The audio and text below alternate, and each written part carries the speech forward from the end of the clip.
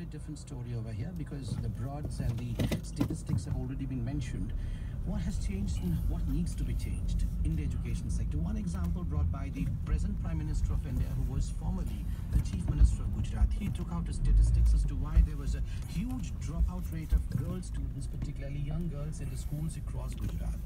And look, the reason was extremely simple. The reason was the schools across Gujarat then did not have toilets, separate toilets for girls, rather no toilets. So any girl student who went into the school, after a while, when they would menstruate, they would drop out of the school because they felt it quite awkward. So these small changes, toilets attached to the school.